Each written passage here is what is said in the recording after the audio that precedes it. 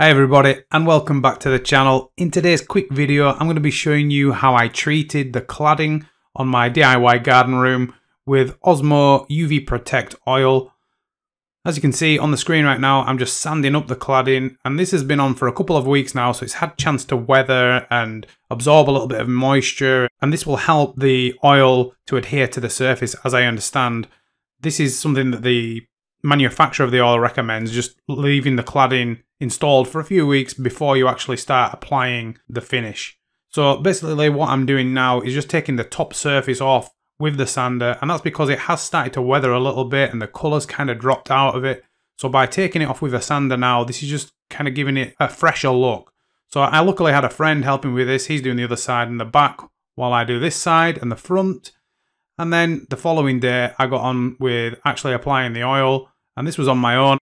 And, you know, it wasn't that bad of a job. It was quite a nice day, so I was out in the sun while I did it. And then I had to leave it for 24 hours before I could come back and do the next coat. But as you can see, it goes on pretty easily. You know, it's nothing complicated.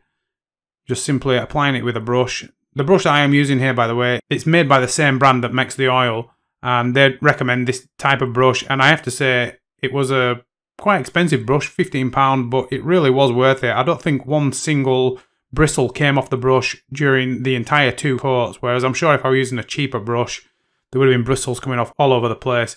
It was just a very good quality brush.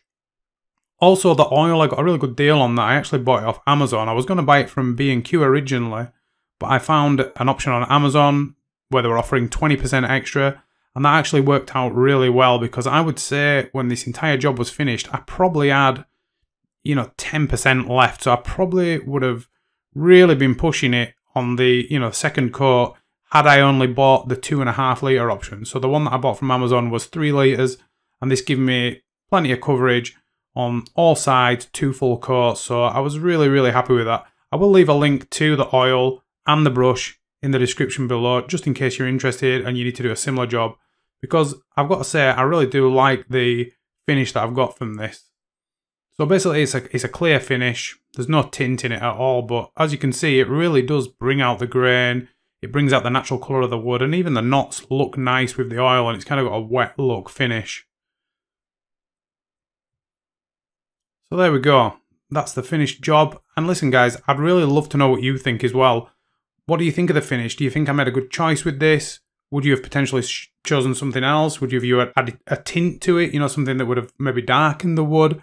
Yeah, I would. I would love to know your opinion. So let me know in the comments below what you think about the finished job and if there's anything that you would have changed. And with that, I will see you in the next video.